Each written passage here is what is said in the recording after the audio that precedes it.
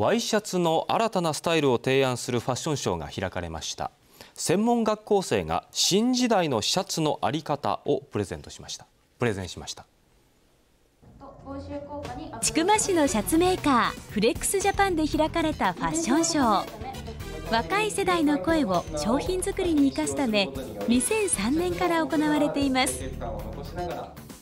ワイシャツの役割そして価値というものを学生の皆さんに考察していただきましてこれからの時代に即した新しいシャツを提案していただきます。今年のテーマはワイシャツのイノベーション。リモートワークやオフィスカジュアルが普及しワイシャツの出番が減りつつある中東京でファッションを学ぶ専門学校生が新たなシャツのスタイルをプレゼンしました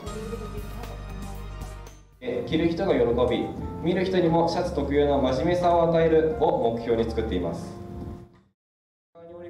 こちらは T シャツの上に羽織る想定で設計されています。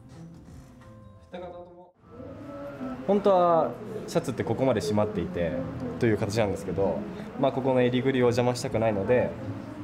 こんだけ、えっと、7センチぐらいですかね下げていて、えっと、着る人が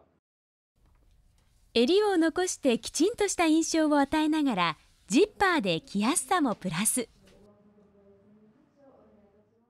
T シャツとジャケットでは少し、えっと、ラフすぎるかなと思ったのでカバーできるように設計したのもあるのでそうですね社外に出ていく人によく、はい、営業の方に来てもらいたいです。はいまず一緒まず感じたのはやっぱりカジュアル化というところがもう本当に進んでるなというのは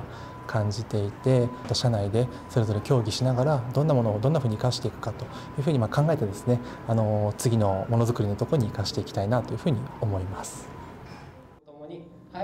若い世代の発想がこれからのワイシャツの在り方を探るヒントになりそうです。